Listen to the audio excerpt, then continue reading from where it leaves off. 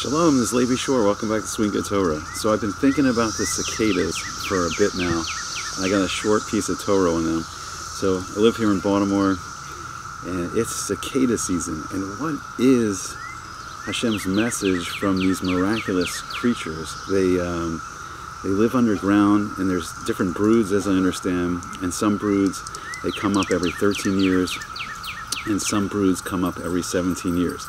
Now 17 is a very important number in the Torah. 17 is the gematria of Tov, which means good. So why do these uh, strange-looking creatures, these big bugs, why are they good? What, what's the what's the secret of the cicada and good? So it's an interesting thing. Their whole life is attached to a tree. They, um, when they're born, I think they go into the ground and they're attached to the tree and they gain all their food and sustenance from the tree. And then after 13 years or 17 years, they come up and they fly around they get married, they have baby cicadas, and they go back underground. So what's the significance of this, and, and what's the secret of the good of the cicada? So I think they're a lesson to us, just like everything else mentioned in Perek about all the things that Hashem's created, like the skies, the oceans, the clouds, the different animals. They're all lessons for us to learn from. We can learn things about ourselves and about the world. So I think the cicadas teach us a very important lesson. So first thing, they, they may not look so great. They sound like an alien invasion, but they're really gentle creatures. They don't bite, they don't sting, and they're attached to the tree, and they come up and they eat from the tree, and then they're, when they're babies underground, they sustain the tree. And I think the lesson is this. I think the tree in this mushal is the Eitz Chaim, which is the Torah. And it's a lesson to the Jewish people. We attach ourselves to the Eitz Chaim. We attach ourselves to the Torah. And we're hidden where are we hidden? We're hidden in the Bate Kanesios, we're hidden in our shuls and synagogues, learning Torah, davening to Hashem, doing tefillah.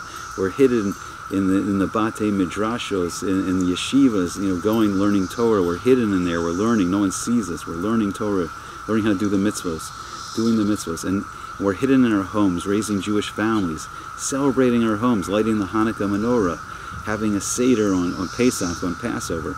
And a lot of times the world doesn't see us. But when it's our bar mitzvah, when it's 13 years, we come out and we proudly say, I am a son of the mitzvahs, I am a son of the Torah, I'm a son of Hashem, and I'm ready to, to show the world that uh, you know I'm ready to take on the mitzvahs. So what's the lesson of 17 of Tov? What's interesting is related to Yosef, Yosef HaTzadik, Joseph.